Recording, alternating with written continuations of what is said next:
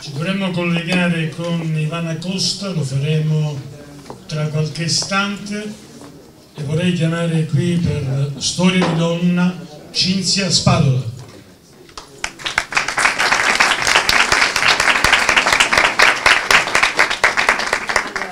Eh, salve a tutti, io Corrado quando mi hai comunicato di questo premio assegnato, questo riconoscimento, mi sono chiesta come mai, perché Corrado e l'associazione Supermoon di Agora vogliono assegnarmi un premio.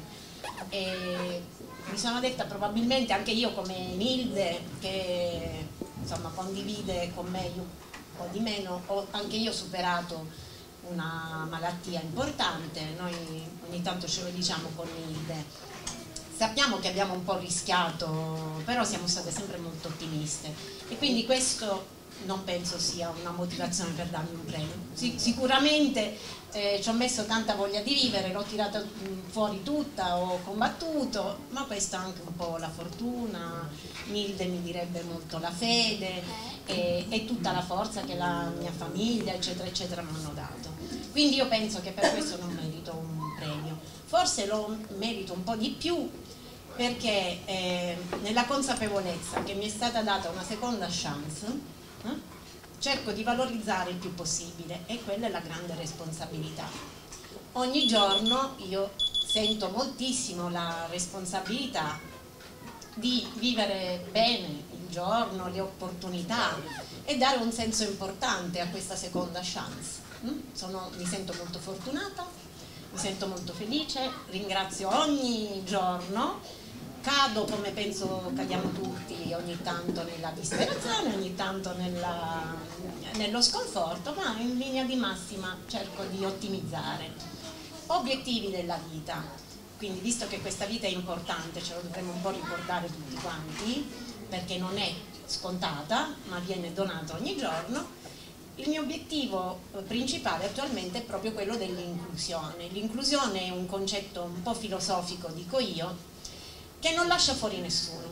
Quindi in assoluto se tutti quanti vivessimo con quell'obiettivo non ci sarebbe guerra, non ci sarebbe praticamente tutto quello che di male l'uomo produce, l'uomo e la donna in questo senso.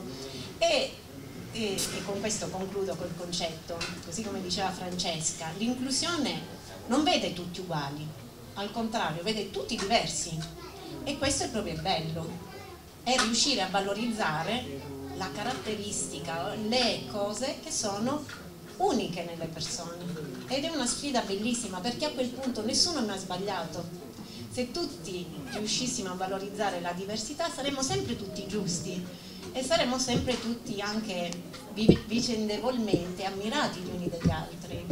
È per questo che io riconosco moltissimo la, la diversità no? e il bello di essere diversi e concordo che la questione femminile, oggi appunto non si parla tanto di violenza ma si celebra la donna e la questione femminile, lo dico sempre, è una questione della società, di tutti, uomini e donne, perché valorizzarci a vicenda significa vincere tutti ed essere tutti quanti più ricchi.